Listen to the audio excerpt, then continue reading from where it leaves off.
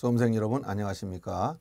아, 이번 시간에는 지난주까지 했던 아, 토지 이동까지 공부했었는데 에, 토지 이동에 따른 지적 정리와 등기 촉탁 이런 절차를 에, 공부하겠습니다. 우리 기본 교재는 322페이지를 펴 놓으시고요. 자, 여기서 제일 먼저 공부했던 것이 우리 지적에서는 지적이란 토지를 등록하는 것이다 라겠죠. 토지가 있으면 이것을 조사 측량하여 지적 공부에 등록했습니다. 자, 지적 공부에 등록했다. 이때 지적 공부에 등록할 때 필지 단위로 구획해서 등록했죠. 그래서 어,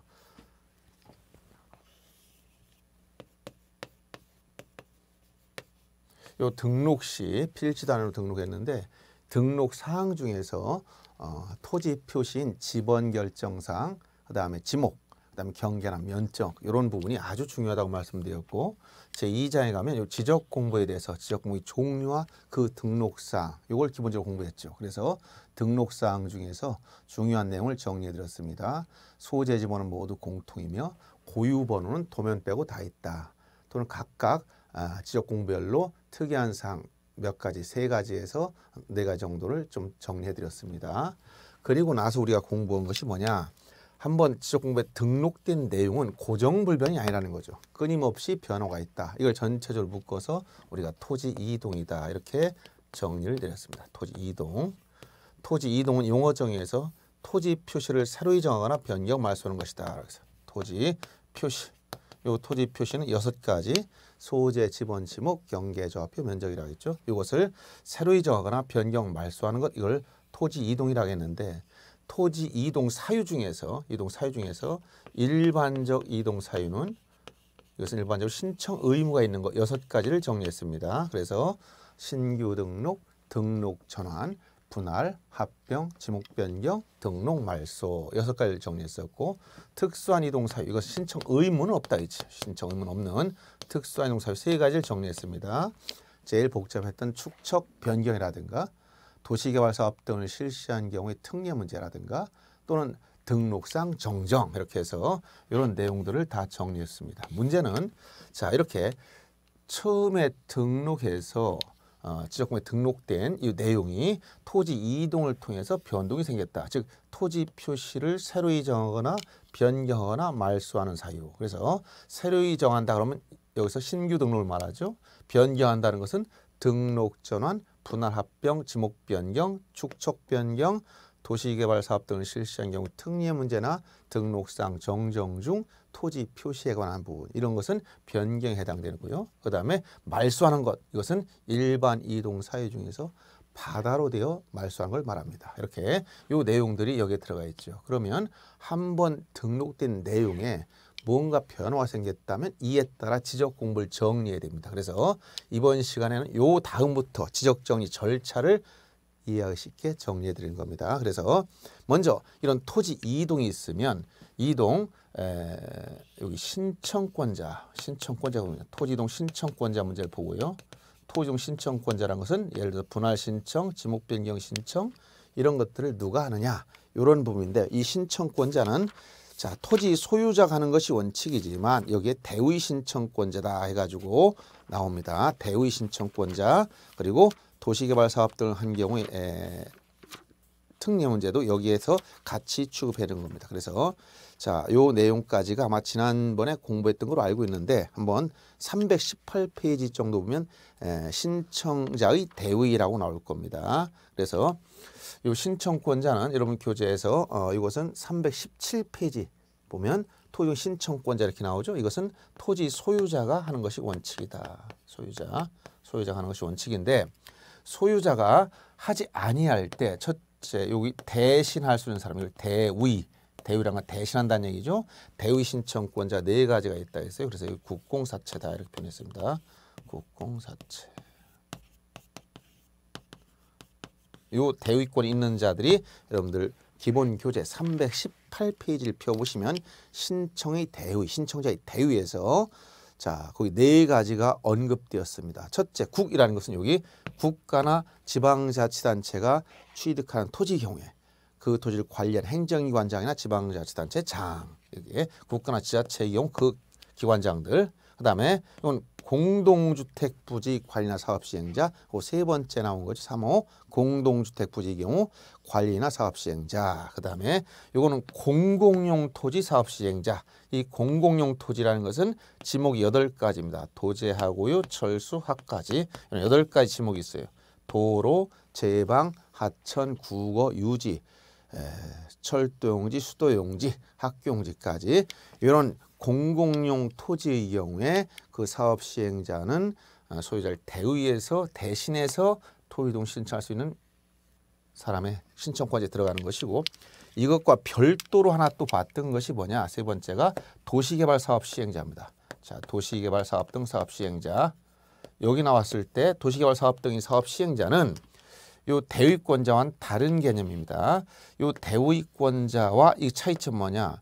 원래 대위권자는 소유자한테 신청권 있는데 신청하지 아니할 때 신청하지 아니할 때 대신하는 사람들 말하고 도시개발 사업 시행자의 경우는 소유자는 처음부터 토지 이동 신청권이 없다겠죠. 사업 시행자만이 신청권이 있다라겠어요. 그래서 이 도시개발 사업 등 사업 시행자는 소유자를 대위하는 게 아니라 자신의 권리를 행사하는 겁니다. 그래서 이 토지 이동 신청권자를 이렇게 정리했고요. 그래서 이제 오늘은 여기 다음부터 요 다음부터 이제 토지 이동에 따르는 이제 지적 정리, 지적 정리, 지적 공부 정리를 줄여서 그냥 지적 정리다 이렇게 얘기한다는 거예요. 지적 정리. 예를 들어서 토지를 분할했다든가 합병했다든가 또는 지목 변경이 생겼다든가 등등 이런 토지 이동이 있으면 지적 공부에 등록된 내용을 바뀐 변동된 내용대로 바꿔줘야 되겠죠. 그래서 이 지적 정리할 때 지적 정리할 때 토지 표시에 관한 부분에 대해서는 자 토지 표시에 관한 부분은 무엇을 하느냐 토지 이동 정리 결의서라는 걸 작성해야 됩니다. 토지 이동 정리 결의서 이것을 작성한 다음에 이 내용에 의해서 지적 공부 정리해 주면 돼요. 토지 이동 정리 결의서. 자, 토지 표시에 대한 부분을 작성한다 했죠. 그런데 지적 공부에는 이 지적 공부에는 토지 표시 사항만 등록된 게 아니고 즉 주된 공시 목적은 토지 표시이지만 소유자에 관한 부분도 등록이 됐다 했어요. 그런데 소유자 즉 권리 변동은 기본적으로 우리가 무엇을 기본한다 했냐면 등기부가 기준이라겠죠. 그래서 만약 소유자 변동이 생겼을 때는 이건 기본적으로 등기부에서 먼저 요 등기부상 소유권 변동이 생겨야 돼요. 등기부상 만약 소유자가 A에서 B로 소유권 이전 등기가 이루어졌다면 이렇게 이루어졌다면 자 등기법의 기본 원리는 자 신청주의가 적용되고 적용되고 언제 소유권이 변동되느냐 법률 행위로 인한 물권 변동의 경우 등기를 마치면 접수한 때 변동이 생기는 겁니다. 그래서 자 등기를 마쳐, 마쳤다면 접수한 날짜에 소유자가 바뀐 거예요. 그러면 등기부상 소유자 바뀌었다면 이원적 공시 방법 하에서 대장상 소유자도 바꿔줘야 됩니다. 그래서 등기 끝나면 지체 없이 대장 소관청에 등기 완료 통지합니다. 등기가 끝났다 이렇게 등기 완료 통지를 등기 완료 통지를 한다. 자, 등기법상 지체 없이 등기 완료 통지를 해주게 돼 있고 그러면 대장상 소유자를 자 변경 등록해 준다. 변경 등록. 요때 소유자를 변경 등록할 때 뭘 작성하느냐? 소유자 정리 결의서. 자 이렇게 토지 표시에 대해서는 토지 이동정리 결의서를 작성한 다음에 지적공부 정리하고 소유자 변동이 생겼으면 소유자 정리 결의서 이건 일차적으로 등기부에서 먼저 바뀌고 이 통지 내용에 의해서 지적공부를 정리하는 절차로 진행되는 겁니다. 그래서 이렇게 두 가지 부동산 토지 표시에 대한 부분, 그다음에 소유자 변동에 관한 부분은 이렇게 토지 이동 정리 결의서라든가 소유자 정리 결의서를 작성하고 지적 공부 정리해 주면 되는데 이 등기부상 먼저 소유자 바뀐 것은 지적 공부인 대장을 정리하면 이 모든 장부와 정리 완결돼서 끝납니다만 토지 표시는 토지 표시는 지적 공부인 대장이 기준이 되기 때문에 이 지적 공부에 따라 대장을 정리해 버리면 지적 정리해서 대장을 정리하면 이제 어떤 문제 생기냐면 등기부 표제부에는 토지 표시와 일치하지 않습니다. 왜냐하면 이원적 공시 방법을 취하고 있기 때문에 자 다시 한번 복습해 보죠. 대장 지적 공부 중에 대표 대장 등기부 이렇게 나눠져 있는데 처음에 말씀드렸죠. 이렇게 이원적 공시 방법을 취하고 있다. 지적 소관청에 가면 대장이 있고 등기소에 가면 이렇게 등기부가 있다라고 말씀드렸어요. 대장의 사실관계인 토지 표시, 권리관계인 소유자에 관한 사항이 선등록됐다. 먼저 등록하고 그 다음에 등기부 표제부에도 사실관계, 토지 표시, 갑구나 을구의 권리관계 이것이 등기되다. 후 등기 절차, 선 등록 후 등기 절차로 진행됐는데 동일한 항목에 대해서는 대장과 등기만 상호 일치하고 있었다. 토지 표시인 면적 다 일치하고 소유자 다 일치하고 있었어요. 그런데 요 첫째 요 권리 관계는 지금 자 일치한 상태에서 소유권 이전 등기가 되면 지체 없이 등기관리 통지토에서 대장을 이렇게 바꿔줘서 변경 등록해주면 이제 다시 일치가 되니까 끝난 겁니다. 근데 토지 표시 사실관계는 뭐냐? 기준이 지적공부였으니까 지적공부 여기가 기준이란 말이에요. 그런데 토지 이동에 따라 지적공부 정리하면 등기부와 안 맞는 문제 생긴단 말이에요. 그래서 자 다음 절차는 토지 이동에 따라 지적공부 정리하고 등기부 정리 절차로 가야 된다는 거예요. 이쪽을 정리해 줘야 됩니다. 방향이 지역공부 정리하고 등기부 정리하는 건데 등기부 표제부를 정리할 때 토지에 대해서는 국가가 이 등기를 다 해줘요. 이걸 뭐라고 하냐? 등기 촉탁이다라고 표현을 씁니다. 등기 촉탁. 즉 촉탁이라는 표현은 등기 절차의 개시 중에서 관공서, 국가나 지방자치단체라든가 또는 등기에 대한 촉탁 권한이 주어진 법률상 주어진 각종 공사 이런 공사들도 이런 촉탁권이 주어졌습니다. 그러면 이런 촉탁을 통해서 관공서 등기를 이쪽 지역 소관청인 시장 군수청장이 등기를 해주겠다. 이걸 촉탁이라고 한단 말이에요. 그래서 표제부 내용도 바꿔주는 겁니다. 만약 토지를 분할했다? 그럼 면적이 줄어들었네요. 그럼 대장을 정리하고 다음에 등기부 표제부를 정리해야 되는데 표제부에는 토지 표시를 정리한다는 거죠. 이것을 시장군수청장이 등기를 해준다. 이것을 등기 촉탁이다라고 표현합니다. 그러면 이 지적공부 정리하고 다음 절차가 뭐냐? 토지 표시 요 부분에 대해서는 다음 절차 등기부 정 절차 나오는 이것을 우리가 등기 촉탁이다 이렇게 표현한 겁니다. 그러면 등기 촉탁 절차는 말로 표현하면 이렇게 되죠. 사실관계인 토지 표시를 지역 공부인 대장과 등기부 간에 일치시킬 목적으로 이걸 일치시킬 목적으로 이런 지적 소관청 즉 국가가 등기를 해주는 걸 말한다. 그래서 등기 촉탁은 이것은 등기부에 등기하지만 국가가 자신의 일을 하는 거기 때문에 즉 국가 국가를 위해서 하는 등기를 보기 때문에 등록면허세를 납부하지 않는 겁니다. 자, 등기 촉탁이라는 개념은 그래서 이렇게 일치한다는 개념 중에서 대장과 등기부를 일치키죠. 따라서 등기부 자체가 존재하지 아니하는 등기부 자체가 존재하지 않으냐는 신규 등록, 토지 이동 사유 중 유일하게 신규 등록은 등기 촉탁할 이유가 없는 거예요. 일치할 등기부가 존재하지 않기 때문에 그리고 이런 소유자 정리 대표적으로 소유자를 정리했을 때 이것은 먼저 등기부가 정리 끝나고 나서 대장 정리하면서 등 정리 절차 완결된 거였었죠. 다시 등기부를 정리할 이유가 없다 이런 얘기. 그래서 토지 이동 사유 중 유일하게 신규 등록의 경우는 등기 촉탁하지 않는다. 이게 시험에 자주 나온 겁니다. 그래서 등기 촉탁 절차를 거치고 그 다음에 등기 촉탁했으면 등기 끝나면 항상 등기 관서에선 등기를 신청한 자에게 등기 끝났다고 등기 완료 통지한다 했죠. 이 등기 촉탁은 요 지적 소관청 시장군수청장이 등기 신청했으니까 이걸 용어를 촉탁이라는 걸 썼다 했어요. 등기 끝나면 촉탁한 관공서에 등기가 끝났다고 등기 완료 통지해 주는 거예요. 등기 끝났습니다라고 등기 완료 통지해 주면 등기부를 바꿔놓은 사실을 토지 소유자가 모르고 있기 때문에 지역 소관청은 토지 소유자한테 이 내용을 알려줘야 돼. 이게 바로 소유자 통지 절차입니다. 그래서 지적 정리 절차를 다시 이렇게 소유자한테 알려줘라. 소유자한테 알려줘라. 그럼 소유자 왜 알려주냐?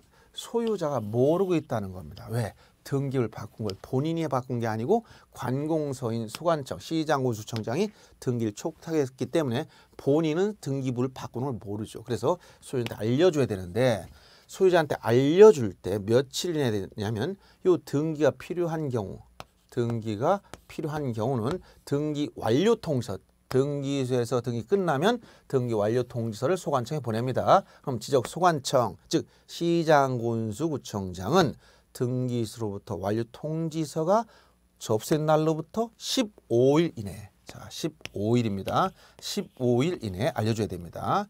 만약 등기가 필요 없는 경우 즉 지적 공무원 정리하고 끝나고 등기 손댈 필요가 없어 예를 들어서 좌표값만 바꿨다든가 위치 정정처럼 면적 변동 없이 경계의 위치만 바꾼 경우 이런 것들은 등기를 바꿀 필요가 없죠. 이럴 때는 7일 이내. 그래서 요 15일 7일 기억해 줘야 됩니다.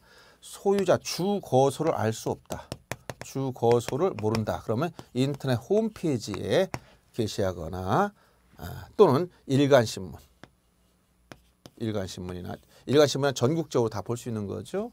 그 다음에 시군구 게시판에 에, 인터넷 홈페이지 일간신문 시군구 공보죠. 시군구에서 발행하는 공보 여기에 게시하면 게시하면 이제 통지된 거로 관주됩니다. 그리고 소유자한테 알려준 이유가 소유자 이 내용을 모르기 때문에 알려준다는 거죠. 만약 소유자 스스로 알았다면 알려줄 필요가 없는 겁니다. 그러면 통지할 사유를 물어볼 때는 결국 왜 통지하느냐 이유를 알아야 통지하지 않는 경우를 아실 거 아닙니까? 이걸 일일 다 암기할 필요가 없어. 그래서 통지하지 않는 경우는 이 소유자 스스로 신청했을 때 스스로 신청한 경우는 할 필요 없어. 근데 신청하지 않았다.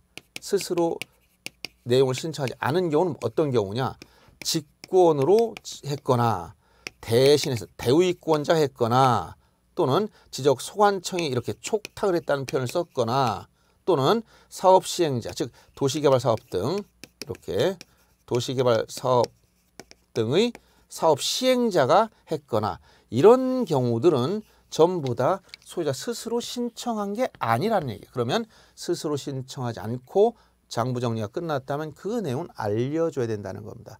예를 들어서 우리가 어, 등록된 토지가 일반 이동 사유 중에서 바다로 들어갔다. 바다로 들어가서 일부가 바다로 들어갔기 때문에 등록 말소한다면 소유자한테 말소를 통지를 해주면 소유자는 90일 이내 이런 경우만 90일 이내 하겠죠. 90일 이내 말소 신청하면 되는데 소유자 신청하지 아니하면 직권으로도 말소해 버립니다. 직권을 말소할 수 있다겠죠. 그러면 소유자 스스로 신청해서 등록 말소했을 때는 굳이 이걸 알릴 필요가 없겠지만 만약 직권에 의해서 말소했을 때는 소유자한테 통지를 해줘야 되는 경우입니다. 이런 경우 통지해줘야 돼요. 그래서 통지 사유라는 것은 스스로 신청하지 않은 경우를 의미한다. 그 사유들이 책에 나열된 건 다 이런 사유들을 모아놓은 거다. 이렇게 이해하시면 되겠습니다. 그래서 이렇게 소유자한테 알려주면 이제 토지를 표시상을 등록하고 그 변동사항을 유지 관리해 간다는 지적의 관점에선 이제 전체적인 관리가 마무리되는 겁니다. 그래서 어, 오늘 정리할 부분은 요 지적 정리부터 소유자 통지까지 이러한 내용인데 이런 부분에서 다 이런 부분. 자 토지 이동에 따라 뭘 작성하냐? 토지 이동 정리 결의서 작성한다고 했는데 이때 소유자 정리 결의서 바꿔놓는다든가 또는 소유자 변동이 생겼으면 소유자 정리 결의서를 작성하고 정리해야 되는데 토지 이동 정리 결의서를 작성한다든가 이런 표현을 쓰기도 하고 그다음에 등기 촉탁에서 요 신규 등록은 유일하게 즉 토지 이동 사유 중에서 유일하게 등기 촉탁하지 않는 것인데 이것도 자주 언급되죠. 특히 어떤 경우 언제 신규 등록하느냐 대부분 없던 땅이 생겼을 때 여기에 해당되는 것이 공유 수면 매립이죠. 바다를 막았다. 공유 수면을 매립해서 새로운 땅이 생겼다. 이때는 당연히 신규 등록이니까 등기 촉탁하지 않는다 이런 얘기야. 그래서 이 등기 촉탁 문제 나면 제일 많이 언급되는 게 신규 등록입니다. 그 다음에 소유자 통지에서 요 15일 7일 이것도 최근에 아주 자주 나왔어요. 등기가 필요하면 15일 필요 없으면 7일 요거 자주 나왔다고 말씀드렸어요. 그리고 어, 조금 어렵게 나올 경우는 요 통지 사유를 언급하는 경우도 있었는데 이건 아주 어렵게 나오는 경우였었죠. 그래서 이런 것들이 출제됐던 내용들이다 이렇게 알아두시면 되겠고 이 이제 책을 보면서 체크해드리기로 하겠습니다. 자 어디를 보시냐면 322페이지 한번 펴보시면 지적 정리 의의와 정리 방법 이렇게 나와 있는 부분이 있을 겁니다. 자, 지적 정리할 때 이 지적 공부 정리는 토지 이동에 따라서 지적 공부 정리하는데 여러분 교재에서 323페이지 펴 보시면 그 양가로 2번에 소관청이 토지 이동이 있는 경우에는 토지 이동 정리 결의서를 작성하고 소유자 변동이 생겼으면 소유자 정리 결의서를 각각 작성해야 된다. 이 부분을 꼭 알아두시 바랍니다. 그 다음에 324페이지에 가보시면 소유자 변기에 따른 지적정리 이 부분은 조금 어렵게 출제할 때 이 부분 언급하는 거예요. 어디냐? 요 소유자 정리한 요 과정을 말하는 거예요. 요 과정. 요 과정. 이미 등록된 토지에 대해서는 반드시 첫째 먼저 등기부에서 변동이 생겨야 된다. 그래서 우선적으로 1차 여기 생기고 요 내용에 따라서 나중에 지적 공부인 대장을 정리할 때 이런 절차로 진행되는 것이다. 이런 것인데 거기 보시면 324페이지에 기등록지 이미 등록된 즉 지적 소관청에 등록된 토지 소유자 변경은 등기가 기준이므로 등기한 것을 증명하는 등기 완료 통지서나 등기 필증, 등기상 증명서, 등기 전산 정보 자료에 의해서 정리하면 된다. 이렇게 얘기했고 첫째 양가로 1번을 보세요. 관할 등기 등기 완료 통지한 정리. 요 부분이 조금 어려운 부분이 하나 있을 겁니다. 세부로 들어가면 이건 이렇게 등기 완료 통지에 따라서 정리하는 걸 말하는데 이때 이 등기에서 등기 완료 통지가 왔는데 우연히 보니까 이때 여기서 문제 되는 거예요. 등기 완료 통지 소유자 바뀌었죠. 완료 통지에 따라서 정리하려고 봤더니 토지 표시가 표제부가 서로 이게 안 맞고 있더라. 이런 문제 생겼을 때 이 문제가 그 어, 토지 표시가 일치하지 않는 부합하지 않는 경우의 문제입니다. 토지 표시가 일치한다면 곧바로 정리하면 끝났어요. 그러나 거기 324페이지 교재 324페이지 밑에서부터 여덟째 줄에 이 동그라미 2번 등기부와 대장의 토지 표시가 부합하지 않는 경우 요 부분입니다. 요 부합하지 않는 경우 이게 어떨 거냐? 그러면 첫째 이것은 소유자를 정리할 수가 없습니다. 왜? 소유자를 정리한다는 건 이 토지 표시가 일치한다는 요 객체가 다 일치하고 있다는 사실에서 소유자 변동되면 이걸 정리해 주는데 이게 맞지 않으면 정리를 못 하는 거예요. 그러면 정리 못 한다. 이거 끝나면 또 안 되는 겁니다. 왜냐하면 토지 표시는 대장의 기준입니다. 그럼 대장을 기준 어디를 바꿔야 되냐? 등기를 바꿔야 돼. 그럼 등기를 바꾸려면 어떻게 해야 되냐? 등기법상 기본 원리는 신청주의입니다. 토지 소유자가 변경 등기 신청해 줘야만 요 표제부가 바뀐단 말이에요. 그래서 토지 소유자한테 토지 표시가 일치하지 않는다고 먼저 어 이렇게 이렇게 이 등기소의 이 지적 소관청은 토지 표시가 일치하지 아니하면 지적 공부를 정리할 수 없고 야 여기까지 이해됐어요. 다음 절차는 첫째 일치할 수 없으면 소관청은 등기소에 요게 부합하지 않는다. 불부합 통지, 불일치상 통지 꼭 해줘야 됩니다. 그래야 등기관이 이 내용을 인식한다는 거예요. 그러면 등기관은 이 내용을 토, 예, 불부합 통지를 받으면 소유자한테 이것을 통지해야 돼. 즉 이게 일치하지 않으니까 1개월 이내 등기법상 표제부의 등기는 1개월 신청 의무가 있습니다. 1개월 내 변경 등을 신청하라고 소유자한테 통지했는데 소유자가 신청하지 아니하였다. 그러면 이때 직권으로 표제부를 바꿔놓습니다. 이게 바로 직 조건에 의한 부동산 표시 변경 등기예요. 이렇게 해서 이 표제를 일치시켜 놓고 나면 그때 비로소 소유자를 변경 등록할 수 있는 겁니다. 그래서 그 내용이 328페이지 하단에 나온 등기부와 대장의 토지 표시가 부합하지 않는 경우의 일치 절차입니다. 그래서 이 부분도 시험에 어렵게 나올 때 특히 모의고사 같은 데서 어렵게 나올 때 예, 이 부분을 물어보고 있으니까 잘 이해하시기 바랍니다. 그 다음에 325페이지에 가면 소관청 직권에 의한 정리라고 나온 부분은 지적 소관청에서 지적 공무원 수시로 등기부와 부합률을 확인할 수 있어요. 무료로 등기부를 열람해서 확인해 볼 수 있어요. 그래서 그게 예, 일치하지 않는 걸 부합하지 않는 상황을 발견하면 자 325페이지 양가로 2번 직권에 의한 정리 동그라미 1번 보시면 세 번째 줄 이때 등, 등기부가 부합하지 아니하는 사항을 발견하면 등기상 증명서라든가 또는 등기 전산 정보 자료에서 지적 공부를 자 중요한 말입니다. 직권으로 정리하거나 즉 직권으로 정리할 수 있으면 직권으로 정리하라는 얘기예요. 그리고 직권으로 정리할 수 없는 사항이다면 토지 소유자 그 밖의 이해관계인에게 요 부합에 필요한 요 부합에 필요한 신청을 하도록 요구할 수 있다. 요 두 가지. 직 직권으로 정리할 수도 있고 또는 소유자 또는 이해관계인에게 부합에 필요한 등을 신청하라라고 요구도 할 수 있다. 두 가지가 다 가능한 겁니다. 직권을 고칠 수 있는 거면 직권으로 이것을 어, 정리할 수도 있고 직권을 할 수 있는 상황이 아니라면 소유자 또는 이해관계인에게 부합에 필요한 신청하라라고 요구할 수 있다. 요 부분을 주의하면 거예요. 그래서 여기 이제 요 부분 좀 까다롭게 얘기했고 처음 공부하는 부분은 상당히 이 부분 어려울 수가 있어요. 어느 정도 이 전체 내용이 정리되고 등기법도 이해하고 나면 이제 이 부분은 이렇게 정리하면 되는 것이고 그리고 마지막에 신규 등록 시는 등기부 없는 상태니까 소유자는 소관청에서 직접 조사 등록해 준다라고 했어요. 자, 이런 내용을 토대로 해서 325페이지 예제를 잠깐 보겠습니다. 지적 공모의 소유자 정리와 설명을 틀린 걸 찾으라고 했어요. 이건 19회 때 기출된 겁니다. 그래서 5번 질문 보시면 지적 소관청은 토지 소유자 변동 등에 따른 지적 공부를 정리하고자 할 때 토지 이동 정리 계획을 작성한다. 자, 소유자가 바뀌었는데 이걸 작성한다 했죠. 그러니까 소유자 변동되면 소유자 정리 결의서. 토지 표시에 변화가 있으면 토지 이동 정리 결의서를 작성하는 거예요. 그래서 소유자 변동이 생겼으므로 소유자 정리 결의서를 작성한다고 했어야 맞겠죠. 자, 그 다음에 이제 등기 촉탁에 관련된 부분은 교재에서 어딜 잠깐 보시냐면 자, 331페이지에 나와 있는 겁니다.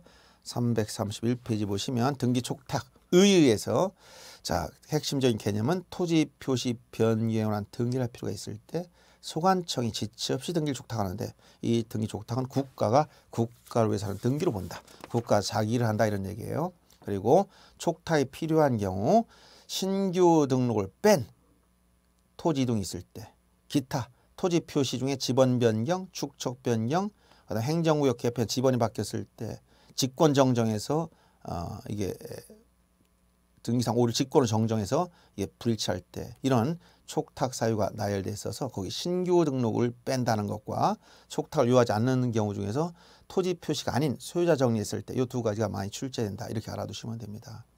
그다음 그 대표 예제 하단에 보시면 자 이것도 기출 문제죠. 자 핵심적인 내용은 토지 이동 등으로 토지 표시 변경에 관한 등기를 할 필요가 있는 경우 지체 없이 등기 촉탁해야 되는데 촉탁하지 않는 경우가 뭐냐? 전형적인 문제라겠죠? 이런 신규 등록 신규 등록 이렇게 체크하시면 되겠어요 그 다음에 이제 등기 에, 지적사항을 등 소유자한테 알려주는 에, 지적정리 통지. 여러분 교재에서는 330페이지를 피시기 바랍니다. 지적정리 통지 거기 보시면 원칙에서 나온 게 있죠 자 통지는 며칠이냐 보면은 토지 표시의 세 번째 줄에 나와 있습니다. 토지 표시는 변경 등기가 필요한 경우. 변경 등기가 필요하다 면 등기가 필요하다면 15 이내. 등기가 필요 없다면 즉 에, 토지 표시는 변경돼 필요하지 아니한 경우는 지적 공부에 등록한 날로부터 7일 이내. 그래서 이두 가지를 일단 15일치를 기억하셔야 되고 요 조금 더 나가서 까다롭게 나은 건 뭐냐? 기산일. 15일과 7일은 언제부터 기산을 하느냐? 요 등기 완료 이 15일은 등기가 다 끝나고 촉탁관공서에서 등기가 끝났다 완료 통지해주면 지적소관청에서 등기 완료 통지서를 접수한 날로부터 15일 이내 알려주는 겁니다. 등기소에서 등기를 접수한 날이 아니라 등기 끝나고 등기 완료 통지를 접수한 날로부터 이것을 주의하면 되고 등기가 필요 없을 땐 지적 공부에 등록한 날로부터 7일 이렇게 되는데 특히 등기가 필요한 경우는 등기 완료 통지서를 소관청이 접수한 날로부터라는 것이고 거기 나열된 아홉 가지 사항은 요겁니다. 어떤 경우에 이 소유자한테 알려주느냐 소유자 모를 때라겠죠. 전부 다 뭐예요? 직권을 했거나 대신했거나 촉탁했거나 도시개발 사업 등 사업 시행자가 해서 소유자 스스로 하지 아니한 경우입니다. 그래서 그 내용들을 나열한 것입니다. 그 다음에 예외로서 통지 가름한다는 것은 이렇게 소유자 주것을 알 수 없을 때 그때는 어떻게 하느냐 이때 에, 공고나 통지로서 에, 신체 가름하는 경우로서 어디냐 331페이지에 보시면 그 양걸 이 통지로 간주하는 경우 일간신문이나 해당 시군구 공보 또는 인터넷 홈페이지 공부하면 일간신문 일간신문이나 일간신문이나 인터넷 홈페이지 공부 해당 시군구 공부입니다. 과거에 출제할 때는 이런 낼 게 없으니까 시군구 공부인데 이걸 시도 공부라고 한다. 이렇게 살짝 이런 부분을 바꾸는 경우가 많이 있었으니까 주의해서 잘 알아두시기 바랍니다. 자 이렇게 해서 지적 정리에 관련된 내용을 다 정리해 줬고요. 이제 그 기출 문제 중에서 몇 가지 뒤에 붙어 있는 간단 간단 내용을 몇 가지 보겠습니다. 오늘 관련된 부분. 자, 어디냐면 소유자 정리에 관련된 부분이 337페이지 기출 문제를 보시면 자, 6번 문제. 지적 공부 소유자 정리에 관한 것 설명 틀린 걸 찾아라 하겠죠. 자, 소유자 정리는 아까 이 소유자 정리 등기부가 기준이다. 이렇게 말씀드렸고 신규 등록할 땐 소관청이 직접 조사 등록한다 라겠어요. 그래서 1번 바로 어, 소유자 변경상은 등기관서에서 등기한 것을 증명하는 등기 완료 통지서, 등기 필정 등기상 증명서, 등기 전산 정보 자료에 따라 정리하면 되고 2번 지문처럼 신규 등록할 때는 등기부 없기 때문에 소유자 소관청이 직접 조사 등록해 줘야 됩니다. 그 다음에 3번 지문 이 등기 완료 통지에 따라 정리하려고 보니까 토지 표시가 일치하지 않으면 소유자를 정리할 수가 없다고 했던 게 3번 지문입니다. 4번 이건 등 지적 공무원이 등기부 열람할 때다 업무 관련하여 등기부 열람하기 때문에 무료입니다. 일반인들은 다 돈을 내고 열람해야 됩니다. 5번 지문을 잘 보세요. 지적, 부, 지적 공부와 부동산 등기 부합 여부를 조사 확인하여 부합하지 않는 사항이 있을 때 소관청이 소유자나 그 밖의 이해관계인에게 그 부합에 필요한 신청을 구할 수는 있으나 이를 직권으로 정정할 수 없다. 좀, 좀 전에 조문 내용을 말씀드렸죠. 직권으로 정정할 수도 있고 직권 정정 사유가 아니라면 부합에 필요한 신청을 요구할 수 있다. 둘 다 가능한 겁니다. 그래서 이런 지문, 즉 에, 법률 제88조 제4항에 나온 그 부합에 필요한 신청을 요구할 수도 있으며 소관청이 직권으로 정정하는 것도 가능하다. 이렇게 해서 나온 이 조문이 난이도가 어려운 시험에 자주 언급되고 있으니까 잘 봐두시기 바랍니다. 그 다음에 자 339페이지에 보면 9번 문제처럼 이것도 3, 아, 이건 지난번 했던 것이고요. 어, 340 에, 340 에, 페이지에 11번과 12번이 지적 정리 과정이죠. 먼저 11번 문제 보세요. 이것도 29회 출제됐던 거. 정리에 관한 설명 틀린 거. 3번 질문 보시면 지적 공부에 신규 등록하는 토지 소유자에 관한 사항은 등기관서 등기한 것을 증명하는 등기필증, 등기발 통지서, 등기상 증명서, 등기 전산 정보에 따라 정리한다 했는데 신규 등록 시는 처음으로 공유 수면을 매입해서 토지가 처음으로 등록하는 과정이기 때문에 등기부 자체가 없습니다. 그래서 신규 등록 관련해서 등기부를 언급하면 무조건 틀립니다. 첫째, 신규 등록 등기 촉탁하지 않는다는 것과 또 에, 등기부 자체가 없으니까 에, 이런 내용과 연결돼서 뭘 정리한다 이런 말 쓸 수가 없는 거예요. 그래서 신규 등록 시 소유자는 소관청이 직접 조사해서 등록해 준다는 거. 그 다음 341페이지에 12번 기출문제에도 보시면 소유자 이게 좀 어렵게 나왔던 거죠. 자 소관청이 소유자에게 지적정의를 통지해야 하는 경우 틀린 걸 찾아라 해서 이 중에서 1번 소유권 변경에 따라 등기 완료 통지서에 따라 소유권 정리했을 때 등기관서의 소유권 변경에 따라 등기 완료 통지서 이걸 가지고 소유자를 정리했다. 그러면 이때 소유자를 통제해줄 필요가 없지. 왜? 소유권 변동, 소유자 정리했을 땐 등기 촉탁하지도 않았고 소유자 바뀐 건 소유자 스스로 알고 있는 겁니다. 언제? 소유권 변경 등기부부터 바꿔야 된다겠죠? 등기법이 기본 원리 신청주의입니다. 소유자 신청하지 않으면 등기를 안 해줘요. 그래서 어, 소유자가 등기부를 먼저 바꿔놓고 그에 따라 등기부 정리했기 때문에 소유자한테 이걸 통지할 필요가 없죠. 그래서 이런 내용이 기존에 출제했던 기출문제입니다. 자 여기까지 하고 잠시 쉬었다가 이제 지적 측량 이 부분을 다 마무리해 드리겠습니다.